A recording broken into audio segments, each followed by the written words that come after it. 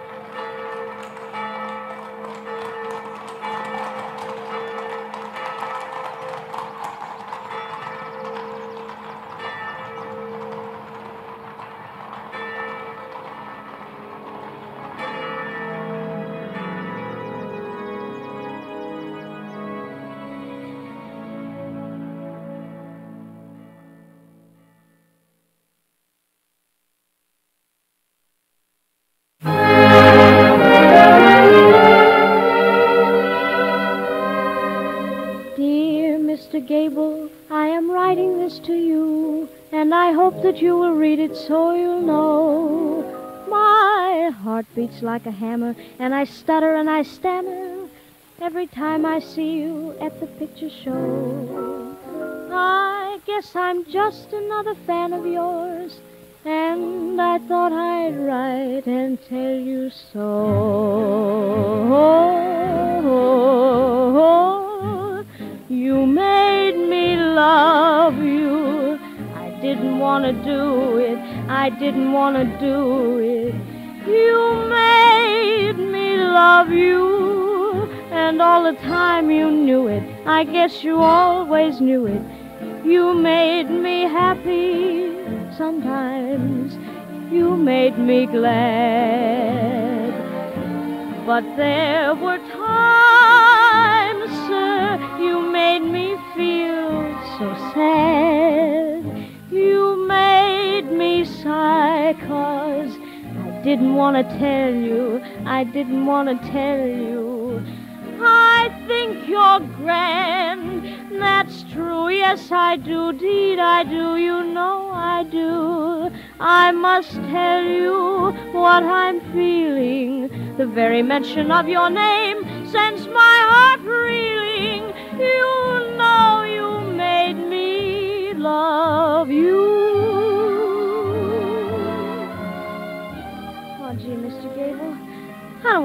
Bother you. Guess, guess you got a lot of girls that tell you the same thing. And if you don't want to read this letter, well, you don't have to. But I just had to tell you about the time I saw you, and it happened one night. That was the first time I ever saw you. And I knew right then you were the nicest fellow in the movies. I guess it was because you acted so, was so natural-like. Not like a real actor at all, but just like any fellow you'd meet at school or at a party. And then one time I saw you in a picture with Joan Crawford. Had to cry a little, because you loved her so much, and you couldn't have her. Well, not till the end of the picture, anyway. And then one time I saw you in person. You were going to the Coconut Grove one night, and I was standing there when you got out of your car, and you almost knocked me down. Oh, but it wasn't your fault. I was in the way. But you looked at me, and you smiled. Yeah, you smiled right at me as if you meant it, and I cried all the way home just because you smiled at me for being in your way. Oh, I'll never forget it, Mr. Gable. Honest Injun, you're my favorite actor. I don't care what happens, let the whole world stop. As far as I'm concerned, you'll always be the top, cause you know you made me love you.